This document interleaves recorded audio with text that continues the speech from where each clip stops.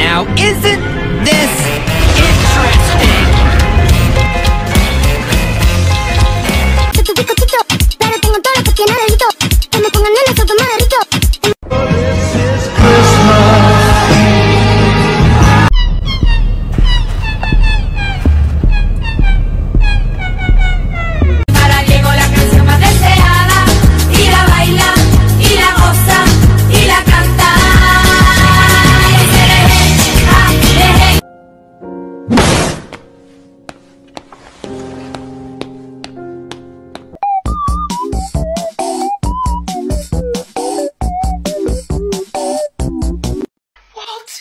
please, please just hear me out, please. Uh.